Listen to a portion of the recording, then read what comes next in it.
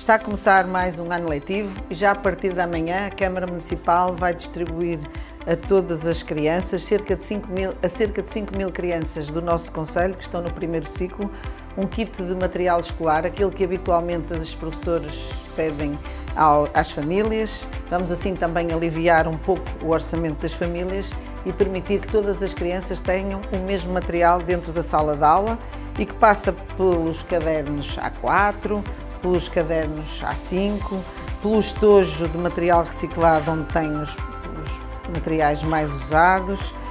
uma corda, porque todas as crianças aprendem a saltar a corda nas nossas escolas. E depois vários materiais mais para as artes plásticas, os guaches, as canetas de filtro, os lápis, a plasticina, os pincéis, tudo dentro deste saco que tem naturalmente a imagem do nosso município e que pretende ajudar ao sucesso educativo que resulta muito do trabalho do pessoal docente, do pessoal não docente, também do envolvimento